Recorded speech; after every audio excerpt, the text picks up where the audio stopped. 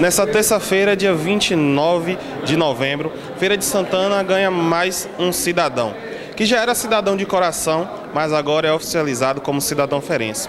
Ele é o empresário José Mota, ali que se instalou em Jaguara desde os anos 2000 e há 22 anos vem ajudando com emprego, renda e projetos sociais toda a comunidade. José Marinaldo Mota, o que é que está sentindo ser homenageado pela cidade de Feira de Santana com o título de cidadão ferense? Uma emoção muito grande esse título, por indicação de Paulão do Caldeirão. Isso só faz é, nos aumentar a responsabilidade em prol de quem está ao nosso redor, em prol das comunidades de Jaguara, que é o, o, o maior beneficiado de tudo isso. Estamos juntos em prol de Jaguara, com Paulão do Caldeirão. Então, senhor, um dos motivos do, do título é os trabalhos que o senhor faz em prol das comunidades de Jaguara, também a geração de emprego.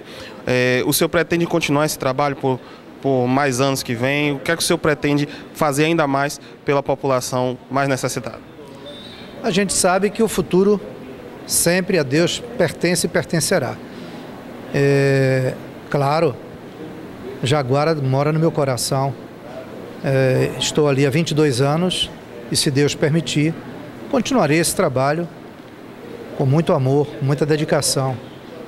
Todos os funcionários que ali estão são todos da região de Jaguara. É, e me dedico muito exatamente às pessoas que mais precisam de emprego. E estamos ali para isso, para acolher e pensando sempre no benefício de todos. O título foi iniciativa do vereador Paulão do Caldeirão. No seu discurso, o senhor falou que se emocionou com as palavras dele. Então, o que o senhor tem a dizer sobre o vereador Paulão do Caldeirão? Quanto tempo vocês se conhecem? O que levou aí ao, ao vereador dar esse título ao senhor? Interessante, apesar de Paulão ser do Caldeirão, da região de Jaguara, e eu estar ali há 22 anos, viemos a nos conhecer recentemente na última campanha política.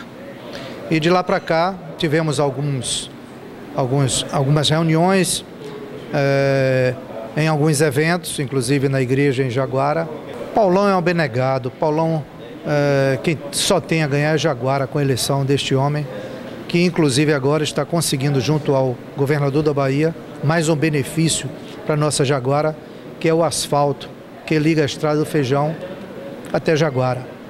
E que Deus o ilumine para que ele permaneça cada dia mais batalhando em prol do nosso distrito de Jaguara. Estamos aqui com o ex-prefeito José Ronaldo, que veio prestar homenagem também ao empresário José Mota. Então, desde quando vocês se conhecem e o que o senhor pode falar sobre a figura de Zé Mota? Nesta homenagem que foi prestada pela Câmara Municipal de Feira, por uma iniciativa do vereador Paulão do Caldeirão. Eu conheço o Zé Mota desde que ele se, é, se deslocou ao adquirir a fazenda Mendonça no distrito de Jaguara. É, sempre foi uma pessoa preocupada com suas reivindicações em benefício daquele distrito é um homem que não é político, partidário, mas que gosta de participar das ações, das atividades públicas em defesa da sociedade.